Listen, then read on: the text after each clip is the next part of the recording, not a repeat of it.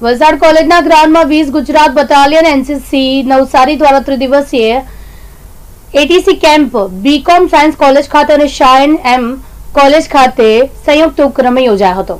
આ કેમ્પમાં વલસાડ જિલ્લાના વિવિધ કોલેજના એકસો બાવીસ એનસીસી કેડર્સે ઉત્સાહભેર ભાગ લીધો હતો.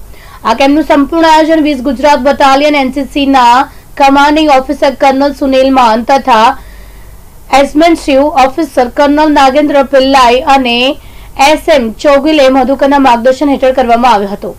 કેડ્રસને આર્મી સંલગ્ન વિષય અને પ્રવૃત્તિથી માહિતગાર કરી તાલીમ આપવામાં આવી હતી.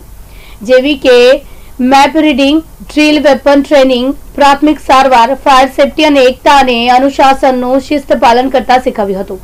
અને રાઇફલના વિવિધ ભાગો વિશે તથા ફાયરિંગ વખતે કયા પ્રકારની સ્થિતિ રાખવી તે અંગે પણ માહિતગાર કરવામાં આવ્યા હતા. ये जो एनसीसी का तीन दिन का कैंप है, हमने वलसाड़ में चलाया है। ये खास करके उन एनसीसी के बच्चों के लिए है जो इस साल एस वाई में हैं और वो बी सर्टिफिकेट के लिए अपियर होना चाहते हैं। कोरोना के कारण पहले ये कैंप एक साथ Rajpipla Gujarat national leadership academy में होता था।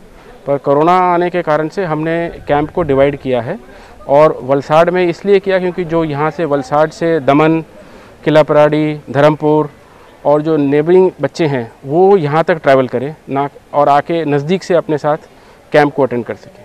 कैंप में खास करके सिखाने जाने वाली बातें थी, उनको जो वेपन ट्रेनिंग है, जिसमें हमने राइफल पॉइंट टू टू के बारे में ज्ञान दिया मैप रीडिंग जिसमें उनको कैसे मैप को पढ़ना कंपास को कैसे यूज़ करना, उसके बारे में ज्ञान दिया। उसके बाद जो एनसीसी का मेन मुद्दा है यूनिटी एंड इंटेग्रिटी उसके ऊपर हम लोगों ने बच्चों को इस तरह से प्रेरित किया है कि वो एक साथ राष्ट्र के योगदान में पूरा राष्ट्र के डेवलपमेंट के लिए पूरा योगदान दें और एक टीम स्पिरिट का जो उनके अंदर जज्बा होना चाहिए उसको प्रोत्साहित किया है। थैंक यू सर कितने बच्चे थे कैंप में? इस कैंप में टोटल 122 बच्चे आए थे और उसके साथ हमें सपोर्ट के लिए आए थे हमारे एएनओ लेफ्टिनेंट मुकेश पटेल। हमारे सी थे अल्पेश ठाकुर जी और मैडम आई थी पारुल मैडम वापी से और अनिल मकवाना जी जो आए थे सिलवासा से।